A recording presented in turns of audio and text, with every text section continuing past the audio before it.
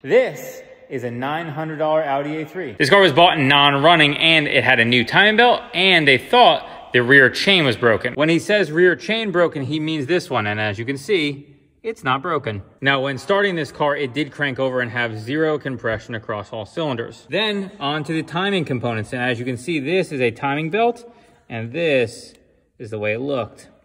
Now on to diagnosing the problem to shred a belt like that, you probably had something lock up, which would usually be this roller, this roller, the water pump itself, or the roller down there. Now, none of these are locked up. They all spin freely. So what happened? Well, we don't know what happened.